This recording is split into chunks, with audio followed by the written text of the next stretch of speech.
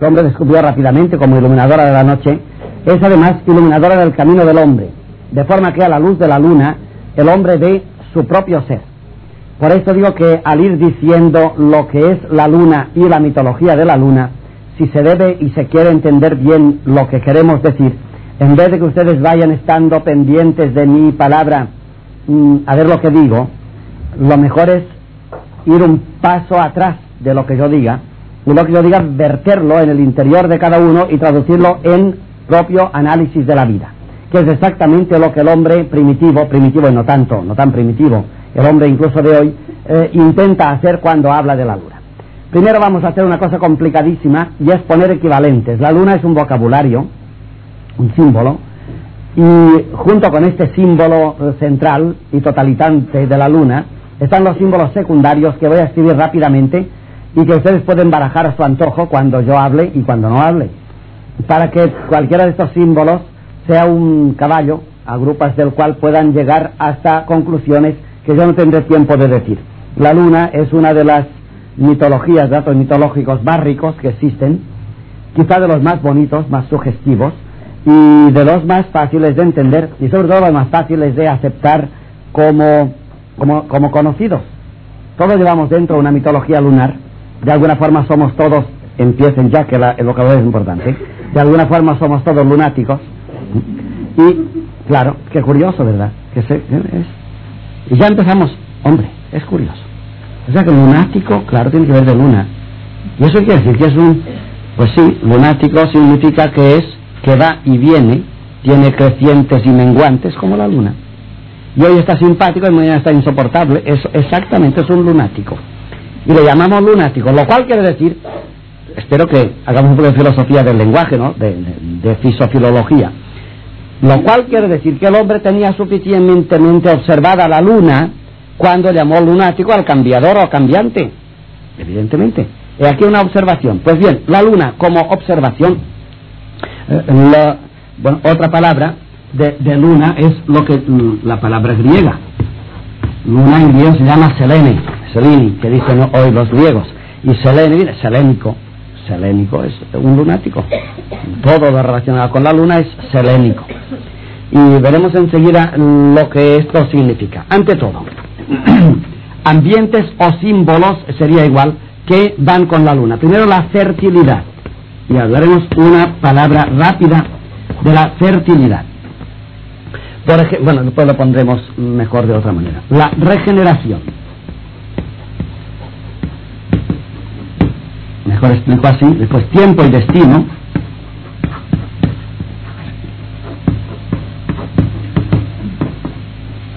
Cambio. Aquí vendría el lunático. Y después el descubrimiento, el gran descubrimiento de la historia. Todos aquellos que de alguna forma conocen la historia o la saben escribir o la dominan son lunáticos, hijos de la luna. La historia se descubrió a raíz de la luna. El sol no tiene historia, porque aun cuando cambia, cada día se pone y cada día sale, es siempre el mismo. Cambio, la luna no. Ustedes dirán que sí, que no, que no. La luna no es la misma. No es la misma. Y encima además la entierran, cosa que no hace el sol, porque siempre hay cada mes tres días en que no hay luna de ninguna clase. Se muere totalmente. Luego empieza el cuarto creciente tímidamente, hasta donde llena, cuarto menguante, tres días de entierro y vuelve a aparecer la luna. Esta observación es claro que el hombre rústico, agricultor o preagrícola anterior al, al, neolítico lo había descubierto. Si ponen aquí al lado de, las, los grandes temas sus similares, antes de ponerlo yo tengo que decir algo, porque si no lo decimos no, no nos entenderemos. Empecemos, por ejemplo, por la fertilidad. ¿Qué tiene que ver la, la, luna con la fertilidad? Pues una cosa curiosísima. Fíjense, ya aparece la palabra. La fertilidad es cíclica. No siempre es primavera. No siempre es verano. Hay una rueda, ¿no? Por tanto, la tierra es fértil en primavera o verano, o da frutos en otoño, pero es una rueda. En invierno no es fértil la tierra. Los animales, la mujer, evidentemente la fertilidad, la, la luna con la mujer, eh, y ahora veremos. Los tiempos de la fertilidad son, es la fertilidad, no se es fértil siempre, ni siempre estéril. Así que el hombre descubre que las cosas cambian, vuelven, vuelven de otra manera, y entonces todo eso se dice con la luna. La luna es la que gobierna las cosas. El Carmen secular que cité el, otro día de Horacio respecto al sol, eh, Horacio es, bueno, es un latino, poco anterior a Cristo, pero es heredero de las grandes tradiciones todavía de la antigüedad. Y cuando en el Carmen secular, en la gran poesía que se cantó en el mm, centenario de la fundación de Roma, en tiempos de Horacio, además de la estrofa del sol, al mesol curro nítido diem qui promise viene la luna. Y a la luna le, dice Horacio, eh, luna bicornis, yo no me acuerdo del verbo, pero con el verbo lo sabe rápidamente. Siderum regina bicornis, eh, reina, eh, es que el bicornis, ya es curioso, esto está aquí. La luna bicornis significa, esto lo veremos ahora enseguida, ¿eh? Tiene dos cuernos la luna, cornuda, claro. Es que todo el toro famoso de las islas mediterráneas del Egeo, que luego llega hasta de nuestras islas, el toro famoso, los dos cuernos del toro, no es del toro, es la media luna. Es la media luna. En Creta lo sabían de memoria. Aquí los aficionados se perdieron con la media luna por cuestión de los musulmanes, pero esto es, esto es un cuerno de buey nada más que es el rito de la fertilidad, porque el animal símbolo de toda fertilidad es siempre el toro, siempre. Incluso para lavar los pecados, como vimos. Pues bien, reina bicorne, reina de dos cuernos de las selvas, las selvas son siempre nocturnas, o luna audi puelas. La luna escucha las doncellas, no los jóvenes. La luna es femenina, claro, el sol es masculino, no es femenina, pero es que además la luna rige el ciclo de la mujer. Las pueblas están bajo de la luna, los hombres no. Bueno, pues vamos a ver eh, poco a poco cómo ponemos aquí equivalentes. Así la fertilidad, como es cíclica, depende de la luna. Y aquí hay que poner en los ciclos la vegetación, abrevió mucho para aquellos que quieran eh, recordarlo, la mujer, los muertos. Y esto tiene importancia porque los muertos son cíclicos, son lunáticos. Primero porque cómo se comportan, ¿eh? cuando aparecen muertos siempre hacen eh, cosas lunáticas. Segundo, porque además los muertos, todo el mundo sospecha, antes incluso de la invención, descubrimiento de la inmortalidad, de que hablamos también el otro día, vayan atando cabos, todo el mundo sospecha que los muertos no acaban de estar muertos y que algún día vuelven a aparecer. Todo es cíclico. Entonces el hombre va descubriendo por la luna, a la luz de la luna, que el hombre es y no es, pero que cuando no es, volverá a ser. El ciclo, la luna es, no es y vuelve a ser el ciclo, ¿eh? como la fecundidad, como el, muerto. En cuanto a la regeneración, hay que, hay que poner aquí el toro, ya lo he puesto en los bicornis, el toro, el oso, que es todas las religiones de Asia, de Asia lo tienen como animal nocturno y lunar, ¿saben por qué? Es lunático el oso desaparece todo el invierno, no se le ve rastro. Pero ¿cómo duerme? El hombre lo había visto. Qué curioso, ¿Cuántas cosas sabían los primitivos? Claro que estaban a la fecha de todo lo que acaecía. Cuando ven ustedes un oso en religión, siempre es mitología lunar. No lo parece, el, oso es muy masculino, no muy poderoso, no se equivoque. Es cíclico el oso. Aparece y desaparece. Por tanto, eh, no sé si tendré tiempo de decirlo, el oso es típico de la luna. El caracol, por sus dos cuernos y porque se mete y sale. Eh, la serpiente. Ya he explicado otras veces que la serpiente tiene para las antigüedades una ventaja y una desventaja. La serpiente aparece en todas las mitologías, pero además es un animal que a las mujeres les disgusta, justamente porque es fecundador. El mundo está lleno de mujeres fecundadas por una serpiente. ¿Sí? Por eso tienen miedo a la serpiente las mujeres. Pero está lleno, y se lo creían, ya lo creo que se lo creían. Yo se aliado cuenta casos tremendos de, de, serpientes que en la noche fecundan a la mujer. Es importante, pero no tendré tiempo de decirlo. En cuanto al tiempo y destino, aquí sí que hay un... Es el verbo tejer, es nocturno, y justamente hay que, hay que poner el, la palabra griega men, Fíjense qué cosas más curiosas pasan.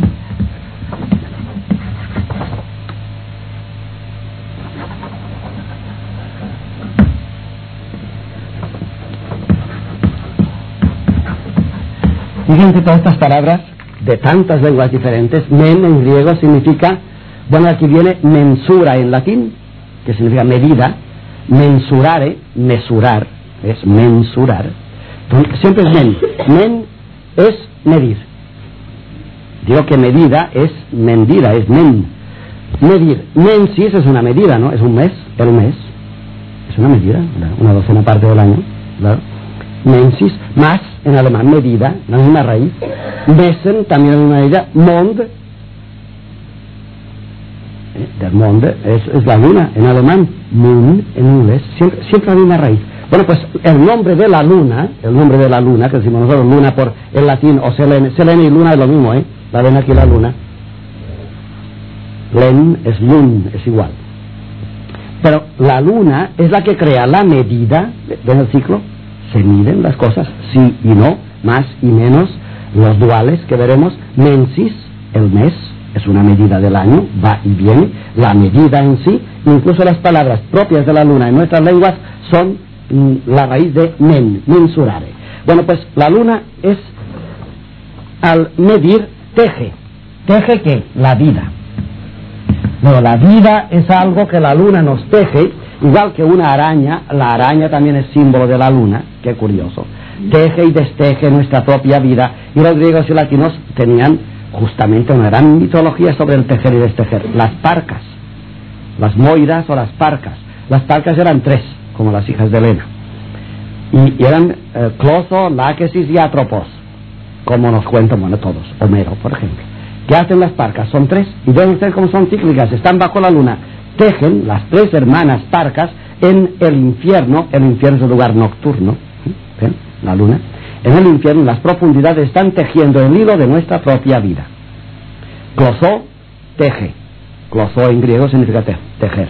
Closó, teje la, la segunda hermana, Láquesis, es la que eh, mueve la rueca, la que hila nuestra propia vida. Y al final, cuando el hilo ya se está haciendo, viene Atropos, en griego Atropos significa implacable, que tiene una tijera y de golpe te vas. Los sabían de memoria los griegos y los latinos también las parcas. Pues las parcas, las parcas son lunáticas son las tres que, a la luz de la luna, en las profundidades de la noche, están tejiendo en secreto, sin que nadie lo vea, el hilo de nuestra vida. Uno lo hace como la araña, lo teje, la otra lo hila y la otra lo corta. Luna también, por tanto, tiempo y destino está con la luna. La idea que tenemos del destino del hombre es, es lunática la idea. Yo soy si fueras unitario, monista, dices, pues yo soy, y ya está, yo soy. A que apenas has dicho yo soy, rápidamente viene el ciclo y dices, ¿y mañana qué? ¿Eh? Ya has cogido el tiempo, ¿ves? Ser significa ser, pero yendo al no ser. Bueno, pues este, esta idea de que se teje y se teje en un destino insobornable se llama tiempo. El tiempo nace de la contemplación de la luna, porque el sol hace un tiempo siempre igual, los días son iguales prácticamente. En cambio la luna, como tiene ciclos, viene la luna, es un mes el ciclo, el mes que viene ya no es igual, y al otro mes ya estamos en estación diferente. Este ciclo es el que da la sensación de tiempo al hombre, como vamos a ver enseguida. Y el tiempo además, no un tiempo indiferente, sino como dice la de un tiempo de cambio. Este cambio es dualista. Este cambio significa la vida es luz, oscuridad. Significa espiral serpiente. Notar que la serpiente que está puesta allí entre los animales es una espiral, ¿no? Lo cual quiere decir que el hombre intuye por la luna que no solamente el tiempo es cíclico, bueno, yo me entretendré después porque esto es importante. Eh, por ejemplo, en el cambio hay que poner también mundo inferior, inferior que es nuestro mundo, que es sublunar, y mundo superior, siempre dualismo, que sería el mundo solar. En el sueño de Scipión, dice Cicerón en de Scipión, eh, infralunam, por debajo de la luna, sunt mortalia omnia. Todo lo que está por debajo de la luna se muere. Supralunam, por encima de la luna, las cosas son inmortales. O sea que los dioses son supralunares el mundo nosotros eh, le llamamos todavía este mundo sublunar, ¿ves? Estamos bajo la luna. Y bajo la luna es donde acaecen las dualidades. Los dioses son uno, nosotros estamos entre en la oscilación, todo lo que oscila o, o tiene ciclo es lunático. Luz, oscuridad. Espiral, digo que la explicaré porque merece una, una expresión diferente. Mundo superior, mundo inferior, mundo de aquí, mundo de allá, esta vida y la otra vida, y las parejas de opuestos. Por ejemplo, el castor y Pollux son los dioses de los gemelos, los dos dioses gemelos, los semidioses gemelos, opuestos, uno blanco y uno negro, uno bueno y uno malo, Caín y Abel en el, en el Génesis. Esto es lunar siempre. Se puede presentar un hombre, un hombre. No, pero el hombre es bueno o malo. Bueno, pues lunarmente esto se dice así. El hombre es uno bueno y uno malo. Adán y Eva tuvieron, ¿qué tuvieron? Pues la humanidad. Pero es decir la humanidad que sería, dicen, no, tuvieron dos filas de hijos, unos buenos, Abel, y otros malos, Caín. Es otra vez cíclico y dual. El bien y el mal, la muerte y la oscuridad, esta vida y la otra vida, y todo lo que es larval, o las larvas. Todo lo que es larva es también lunar. Así que ha nacido la historia.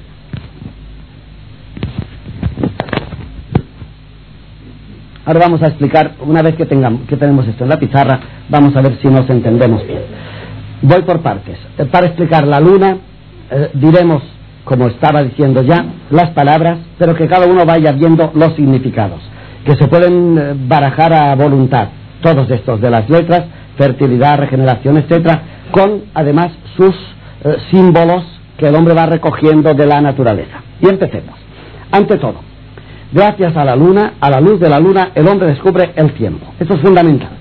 El tiempo no es, no es de ninguna forma eh, ni monolítico ni monovalente. Es por lo menos bivalente. El tiempo no es igual a sí mismo. Hoy es un día, mañana será otro. Y el hombre se da cuenta de esto. Y no solamente esto.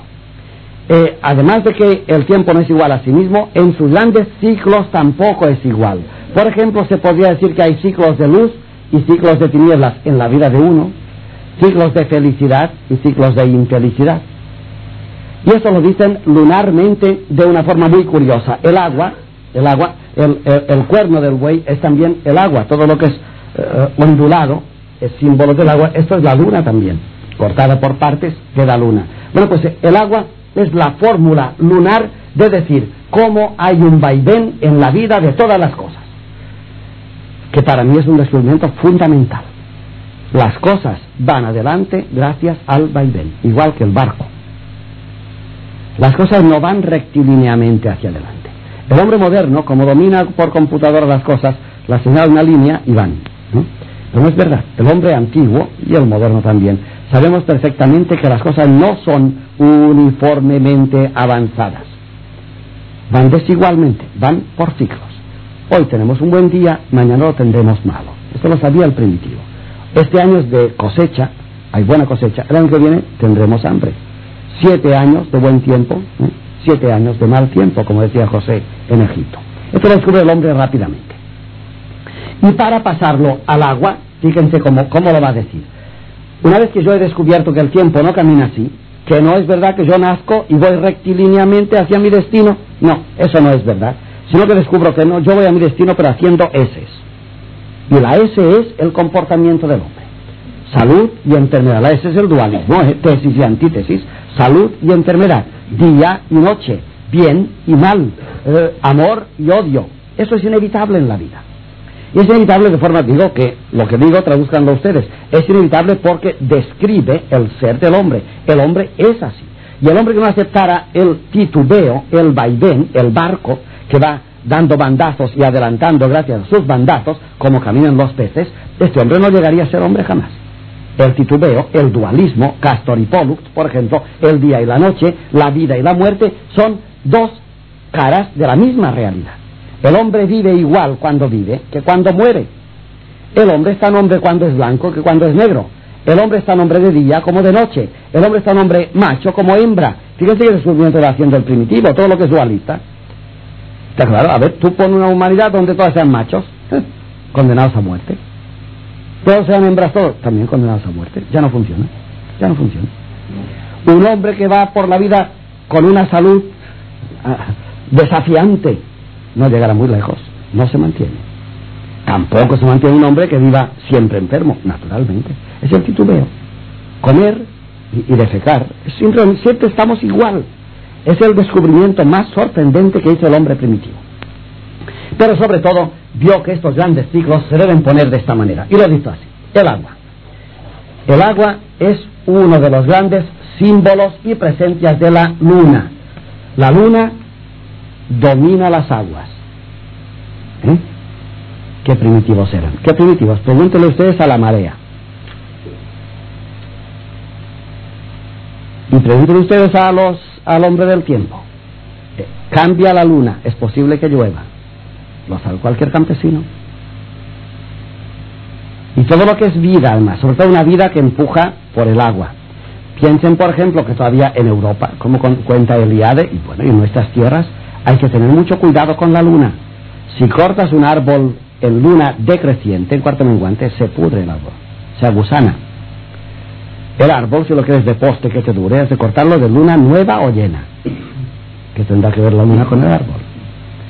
Y si y aplicado al hombre tiene muchísimo más, de mucha importancia. Tiene mucha importancia nacer de luna nueva o de luna vieja, ya lo creo. Y cortarse el pelo también, se puede quedar calvo uno. Se corta el pelo eh, de luna vieja, claro. Y cortarse las uñas también, se nacen, ¿verdad que sí? Todo el mundo lo sabe, qué curioso. De golpe descubrimos, ala, está la luna en todas partes. Y nosotros nos hemos alejado mucho de la luna porque como ya no somos agricultores, no observamos. Muchos de nosotros me figuro que ahora mismo no sabemos si estamos en luna, en cuarto menguante en reciente, ¿no?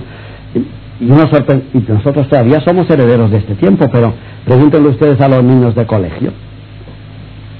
Ni, ni, saben si la luna dura tres meses. Y lo han visto, sí, ya la vi una noche desde el balcón. La han visto un poco la luna.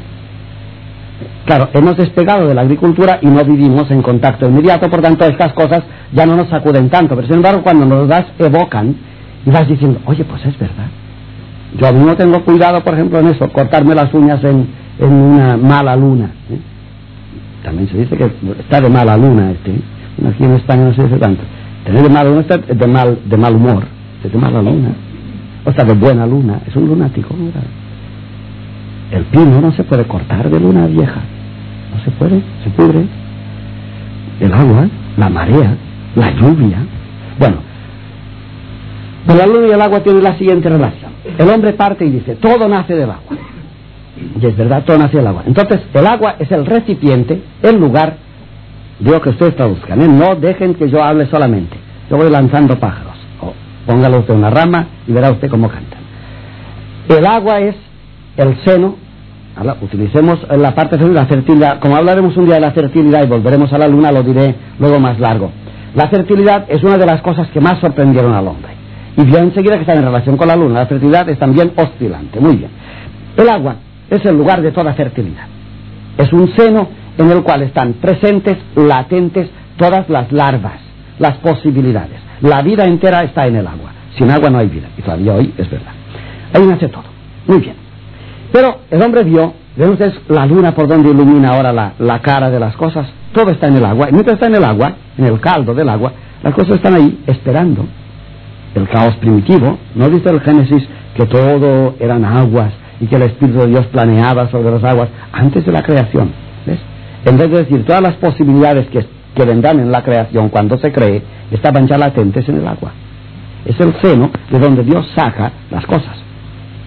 Mientras las cosas están en el agua, están en el agua y son felices en el agua, como larvas, como potencias, como esperanzas, como profecías. Ahí están. no pasa nada. Y pueden durar millones de años en el agua. Pero apenas una cosa sale del agua, por ejemplo, una montaña, por ejemplo, un hombre, por ejemplo, una idea, apenas saca la cabecita del agua, los vientos empiezan a pegarle y empieza la erosión. Palabra que hay que usar aquí. El agua genera, ¿verdad? Nosotros somos todos generados en agua. Eso ya no bautismo. mira. El agua genera. Esto quiere decir que como están los gérmenes dentro, pues si algo nace, nace del agua, genera. Pero apenas aflora sobre el agua, empieza a degenerarse. Lo contrario de generar. ¿eh? Generar y degenerar. Las cosas en el agua no degeneran, están ahí, esperan. Las ideas, las esperanzas no se vuelven viejas. Apenas sale una afuera, bueno, pues empieza la erosión, la degeneración. Muy bien, esto lo descubre el hombre. Cualquier cosa, una montaña que aparezca por encima del agua, ya empieza la erosión. Se la carga. El aire, la ventisca, lo que sea, se la carga. Se la, se la va comiendo. La vida del hombre es igual. Ah, muy bien. Pues ves un primer momento. El hombre emerge de las aguas, pero apenas emerge, ya empieza a morirse, ¿o no? Ya degeneramos, ya no somos el niño que nacimos, ya degeneramos, caminamos hacia la muerte. Primera etapa. Segundo, y entonces, ¿tiene solución esto? Sales del agua, empiezan los aires a comerte la cara y las fisonomías y, degeneras. ¿Hay solución? Sí. Volver al agua. El agua regenera. ¿eh? Genera, degenera, regenera. Vuelve a regenerar. O sea que el hombre que se sumerge en el agua vuelve otra vez al seno profundo, a la oscuridad, donde están las posibilidades, las latencias, y ahí se regenera. En ese lugar vuelve a estar la luna. Bueno, ustedes del ciclo, sale y se mete, sale y se mete. ¿Cómo hace la luna? Una vez por mes. Sale y se mete. Así que la vida de todo hombre es un nacer, pero nacer que es ventajoso, por un lado, ven ustedes lo positivo y negativo, es desventajoso porque apenas naces, ya te come el tiempo, ya empiezas a morir. No nacer es desventajoso porque es no nacer, pero es ventajoso porque no te gastas. ¿Ves el ciclo lunar? No nacer es bueno, sí, porque no te gastas, pero es malo porque no naces. Nacer es bueno, sí, porque naces, pero malo porque te desgastas. Esto lo dice la luna. La observación de la luna le da al hombre esta idea. Y la segunda idea que viene aquí es la que ya insinuaba. Entonces el hombre aparece del agua, luego va cayendo y otra vez, si está el nivel del agua, va metiéndose dentro. Aquí domina la luna, la luna es, es subacuática. Se mete el hombre y al volver a salir, sale regenerado y nuevo. Por tanto, es como la luna. La luna crece, decrece, desaparece, vuelve a aparecer. Esta idea es la del hombre. Todas las cosas son así. Noten que la filosofía actual no ha superado esta idea. ¿eh? Una vez que una cosa nace, está condenada a muerte. Puede ser la idea más feliz del mundo, puede ser incluso una época de progreso, pensar en la técnica nuestra. Hace un siglo empezó la técnica seriamente y hemos logrado milagros, pero mientras logrado milagros se desgasta la técnica. Hace 50 años Nuestros padres creían que la técnica era un dios, lo podía todo. Nosotros hemos llegado al tope ya, ya empezamos a ver que la técnica no nos lo puede dar todo, ya se ha desgastado. Hay que meter las redes en el agua y a ver lo que sale por el otro lado. Bueno, una primera idea, por tanto, en el agua están todas las cosas, todas las posibilidades y hay que volver a ellas para recoger estas posibilidades. La luna es la que nos lleva por este camino. He dicho que hablaré de la fertilidad, pero quiero decir dos palabras. La fertilidad es el volver al seno del agua, al seno desde el cual nacieron las cosas. Y esta fertilidad, como digo que explicaré, pero que quede aquí, también es lunática. ¿Por qué? Primero, porque es caprichosa.